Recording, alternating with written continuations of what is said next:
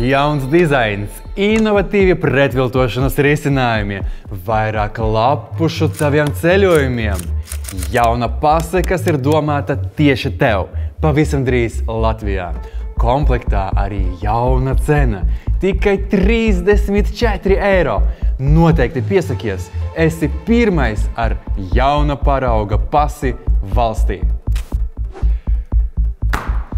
Bet, ja es nevēlos, Tiekam skaidrībā, vai ir iespējama dzīve bez pases. Jā, ir. Likums paredz, ka no 15 gadu vecuma katram ir jābūt personu apliecinošam dokumentam. No 2023. gada obligāts ir tikai viens - ID karte. Speciāli noformēt to, ja ir derīga pase, nav nepieciešams. Likums nosaka, pasi var noformēt pēc vēlmes vai nepieciešamības, taču, ja cilvēkam, kurš vecāks par 15 gadiem, nebūs neviena, draud sots. 35 eiro. Taču dokumenti ir nepieciešami arī pavisam maziem pilsoņiem, ja viņi dosies ārzemju ceļojumā. Pasi vai ID līdz 5 gadu vecumam izsniedz uz 2 gadiem. No 5 līdz 20 gadu vecumam dokuments būs jāmaina reizi 5 gados.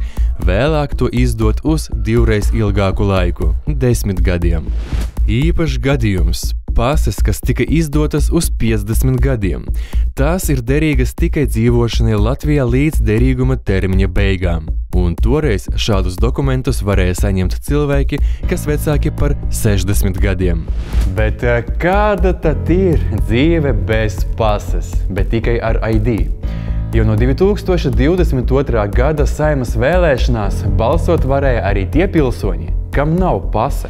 Ar ID karti varēs doties uz iecirkņiem arī Eiropas parlamenta vēlēšanās.